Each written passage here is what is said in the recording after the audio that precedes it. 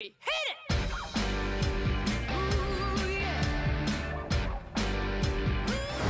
Miss Shirley, this outfit is absolutely amazing. You have to tell me where you got it from because you took me to a buffet, ate and left no crumbs. Thanks, Queen.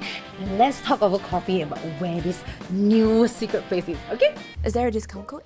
No. Does she know the price tag is still on?